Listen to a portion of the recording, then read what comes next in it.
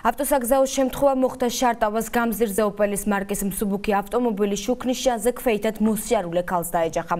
შემთხვევის შედეგად დაშავებული ქალი სასწრაფო სამედიცინო დახმარების ეკიპაჟმა კლინიკა რუსავში გადაიყვანა. როგორც ავტომობილის მძღოლი ჩვენთან საუბრისას აღნიშნავს, ქვეითად მოსიარულემ დაარღვია საგზაო მოძრაობის წესები და მობილურ ტელეფონზე საუბრობდა, რა დროსაც შეჯახება მოხდა. ადგილზე მობილიზებული იყო სასწრაფო სამედიცინო დახმარებისა და საპატრულო პოლიციის ეკიპაჟი. კლინიკა რუსთავში აცხადებენ, რომ პაციენტს მოტეხილობები აღენიშნება და მას ამ დროისთვის გამოკვლევები უტარდება.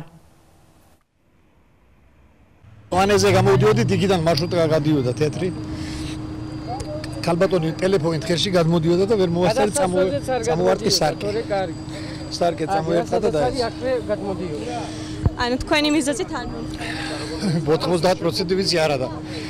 ტელეფონით დაკავებული ეს არ არც მიყურებდა გამოდიოდა მაგრამ მე მწვანეზე გამოვედი წინ იქით მარშრუტკამ გამასრო მერე და маршруткას გადმოუსწრო წინ ეტყობა და თქვენ სიჩქარის განაჭარბებით ხომ არ მოძებნით 40 არ მოვდიოდი სვეტაფორზე როგორ გამოვიდოდი